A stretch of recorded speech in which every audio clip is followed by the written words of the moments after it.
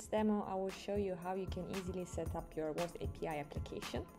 Of course, before you start, you need to have an account. If you don't have an account, you can go to telnyx.com slash sign up, fill in your details and sign up. Once you sign up, you need to go to portal.telnyx.com and you have to uh, have an API key which you can go on the right hand side and create a new API key for yourself uh, and save it. Then you have to buy a number, uh, which you can do it under real time communication number and buy numbers. We have a separate demo to show how you can do that. But in this demo, we will be specifically focusing on how you can build your voice API application.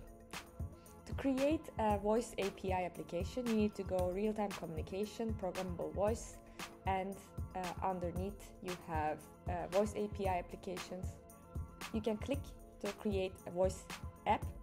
Then here you can configure your application. Uh, here are some essential settings. I will be just saying test voice API application. And then uh, you also need to select the latency.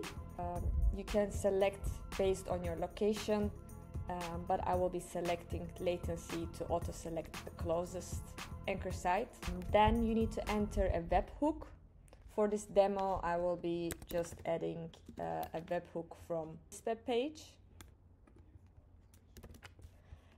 But of course, if you want to deploy your own webhook handler uh, via AWS or Google Cloud or DigitalOcean app platform, uh, we also provide basic webhook handler examples on our dev docs. And the other option is also installing an ngrok uh, following our ngrok setup guide, which we will be providing in the uh, getting started section of uh, Voice API in our dev docs. So you can also uh, use that. The webhook site that I use is just for initial testing, and this will not allow you to respond to webhooks.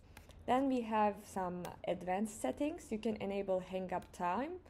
The automated one we added here is 30 seconds, and if no response to webhook, this will hang up. Custom uh, webhook timeout, uh, you can include it here. And also uh, DMTF uh, type, which is touch tone handling, which is automatically set to RFC 2833. You can change it um, as you like. Then uh, this is the basic setup. Later on, we move to inbound settings. Here, uh, ticked codecs. If you want to include the other codecs like Opus, you have to uh, click on them. We don't have to do anything for this to have a basic voice API application. Then we go to the outbound settings, use the default one, or you can use the one that you created while you were creating SIP. Uh, from here, I go next, and then you have to assign a number. Here, I will be assigning this first one. Then you just say complete and view my application. Here it is. This is how we set up our first Voice API application within just a few seconds. You can copy this application ID uh, to use in your um, Voice API commands and then later on go to our dev docs and get our uh, inbound, outbound, text to speech, speech to text API commands and you can embed this application ID in there to do the calls. Thank you.